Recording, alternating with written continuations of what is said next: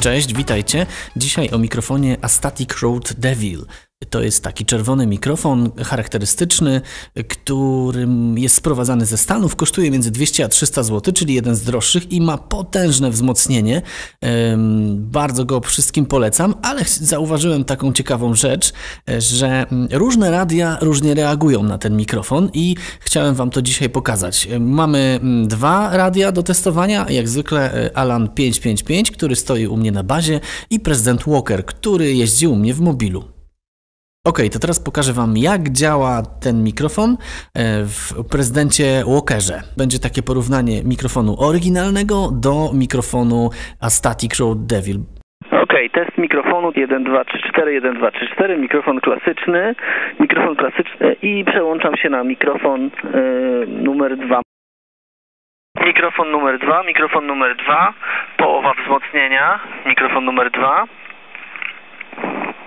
Mikrofon numer 2, takie 80% wzmocnienia. Mikrofon numer 2, 100% wzmocnienia, 100% wzmocnienia. Raz, dwa, trzy, cztery, próba mikrofon numer 2 i przełączamy się na mikrofon numer 1. Mikrofon numer 1, mikrofon numer 1, mikrofon numer 1, raz, dwa, trzy, cztery, mikrofon numer 1. Mikrofon numer 2, mikrofon numer 2, mikrofon numer 2. Teraz wracamy.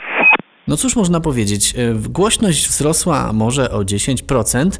E, jest fajna barwa, taka, która jest sprzyjająca przy trudnych warunkach. Ona się przebija e, na tym paśmie bardzo ładnie, także barwa super, a, a, a głośność tak plus 10% mi się wydaje. A teraz zobaczmy, co się będzie działo w Alanie 555. Teraz oryginalny mikrofon od Alana 555, mic gain na 10, czyli na max, na 100%. Oryginalny mikrofon tak brzmi. Teraz test mikrofonu Astatic z urządzeniem Alan 555. Mamy teraz 10%, 10% wzmocnienia. Uwaga. 50% wzmocnienia, 50% wzmocnienia. 80% wzmocnienia, 80% wzmocnienia i 100% wzmocnienia. 100% wzmocnienia. Jeszcze raz.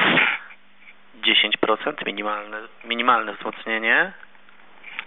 40%, 50%, 80% i 100% wzmocnienia.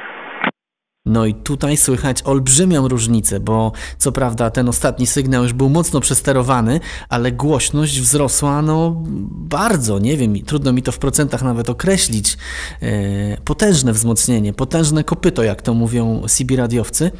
Dlaczego tak się dzieje? Otóż w prezydencie Walkerze jest specjalne zabezpieczenie przeciwko przemodulowywaniu, przeciwko zbyt głośnemu sygnałowi i przesterom.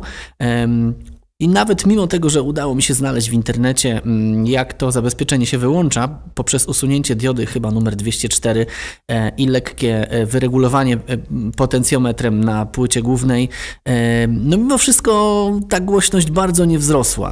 Teraz Wam pokażę jeszcze fajną rzecz z Alanem trzy piątki. Ok, teraz spróbujemy skręcić mig gain. Mig gain na czwórce. 100% wzmocnienia, mig gain na czwórce. Sytuacja podobna jak w prezydencie Walkerze, przy maksymalnym wzmocnieniu. Jak słyszycie, prezydent Walker zachowuje się troszkę tak, jakby miał modulację zmniejszoną do 40%. I nawet sterowanie go mocnym mikrofonem niewiele pomaga.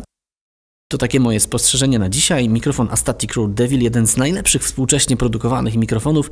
Nie z każdym radiem pracuje tak samo. Oczywiście wydaje się to y, naturalne, ale ta różnica jest tak duża, że postanowiłem aż zrobić o tym dzisiaj materiał. Dzięki, do następnego filmu. Hej, hej.